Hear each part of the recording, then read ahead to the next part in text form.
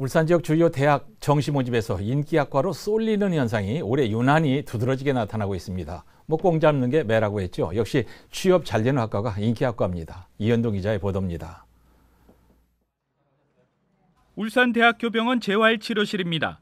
이곳에서 근무하고 있는 심아연 씨는 지난해 대학병원에 취업했습니다. 보건계열 대학을 졸업하면서 곧바로 취업에 성공했고 이후 경력을 갖춰 대학병원으로 옮겼습니다.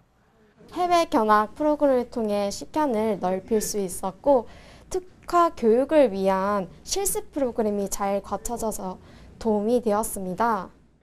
올해 울산과학대 간호학부 정시 모집에 합격한 박유정 씨. 박 씨는 학과를 선택하면서 가장 큰 비중을 취업에 뒀습니다.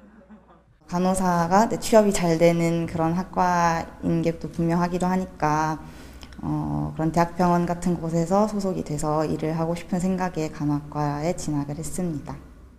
이 대학의 올해 물리치료학과 경쟁률은 24.4대 1, 2년 연속 최고 인기학과를 유지하고 있습니다. 보건의료 특성화 대학인 춘해 보건대도 사정은 마찬가지. 춘해대 물리치료과는 65대 1로 가장 높은 경쟁률을 보였고 간호학과 37.9대 1, 치위생과 24대 1등 취업률이 높은 보건계열의 강세가 뚜렷했습니다. 학력 인구 감소 등으로 대학마다 미달 사태가 속출하고 있지만 취업이 잘 되는 학과에는 지원자가 몰리고 있는 겁니다. 요즘의 학생들은 대학보다는 졸업 이후에 본인의 삶에 대해서 훨씬 더 관심을 많이 갖기 때문에 취업률이 높은 간호보건 계열로 학생들이 몰리는 경향이 있다고 생각합니다. 극심한 취업난 속에 코로나19 사태까지 더하면서 취업률이 높은 학과 쏠림 현상이 뚜렷해지고 있습니다.